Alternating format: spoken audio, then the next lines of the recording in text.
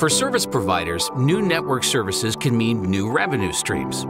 But delivering those services can take time. With Cisco EVPN, you get where you want to be faster and with a much better outcome.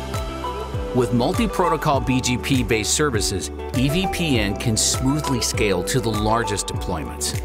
It works by maximizing bandwidth through load balancing and using a distributed anycast gateway to provide optimal forwarding. EVPN also provides an optimal user experience by using SLA-based forwarding to minimize latency and maximize bandwidth. For management and operations, EVPN not only speeds service recovery and restoration, it also reduces day-to-day configuration and operations overhead. And with EVPN, you can go full speed Cisco Network Services Orchestrator provides complete standards-based lifecycle management, so when EVPN rolls out in your existing network, you have peace of mind. Gone are the days of stitched-together operations at network domain boundaries. As a unifying technology, EVPN makes cross-network domain service delivery easy.